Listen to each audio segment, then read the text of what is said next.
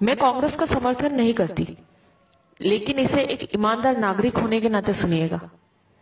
मोदी जी, साठ साल साठ साल मत चिल्लाया करो। देश और जनता को उल्लू मत समझो। आप उस देश के प्रधानमंत्री हो, जो देश 300 साल तक गुलाम रहा था। जिस देश को अंग्रेज़ों ने लूट खसोट कर, इस देश की बागडोर को कांग्रेस को सौंपी थी। 1947 में देश में सुई तक नहीं बनती थी। सारा देश राजा रजवाड़ों के झगड़ों में बटा हुआ था। देश में मात्र 50 गाँव में बिजली थी। पूरे राजस्थान मात्र में 20 राजाओं के पास फ़ोन था। किसी गाँव में नल नहीं थे। पूरे देश में मात्र 10 बाँध थे। सीमाओं पे मात्र कुछ सैनिक थे। चार विमान थे 20 टैंक थे। देश की सीमाएँ चारों तरफ़ से खुली थी। खजाना खाली था। ऐसे बदहाल में हमारा हिंदुस्तान कांग्रेस को मिला था। इन 60 सालों में कांग्रेस ने हिंदुस्तान में विश्व की सबसे बड़ी ताकत यानी सबसे बड़ी सेना तैयार की।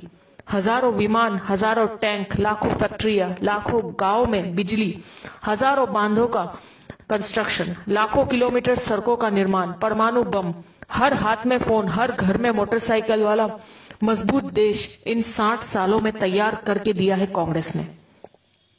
भारत ने पिछले 60 साठ सालों में तरक्की भी बहुत की है। भूतपूर्व प्रधानमंत्रियों ने कई इतिहास रच दिए, जिसकी वजह से भारत आज एशिया की दूसरी सबसे बड़ी ताकत है।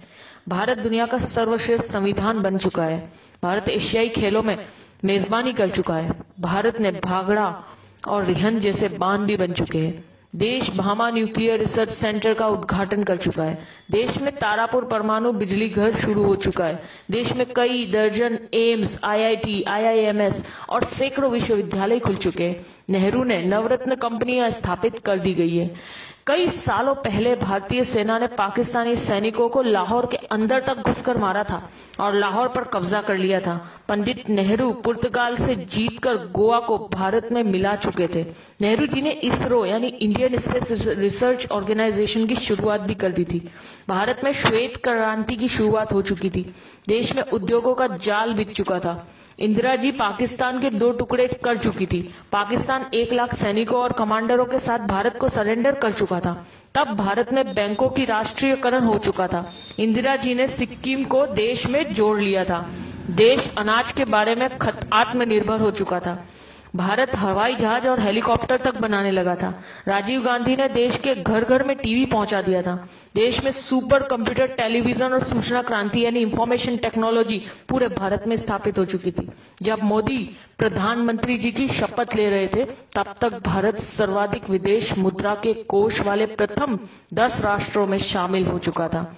इनके अलावा Chandrayaan, Mangal mission GSLV metro, monorail, अंतर्राष्ट्रीय हवाई अड्डे, न्यूक्लियर पनडुब्बी ढेरों मिसाइल, पृथ्वी, अग्नि, नाग, दर्जनों परमाणु संयंत्र, Chetak helicopter, MiG, Tejas drone, Arjun tank, Dhanush टोप, मिसाइल युक्त विमान, आईएनएस विक्रांत, विमान वाहक। ये सब उपलब्धियाँ देश ने मोदी के प्रधानमंत्री बनने से पहले हासिल कर ली थी। हर जागरूक नागरिक की तरह इस मैसेज को ज़्यादा से ज़्यादा ग्रुपों तक पहुंचाइए, ताकि मोदी जी और उनके जुमले गलत साबित हो सके।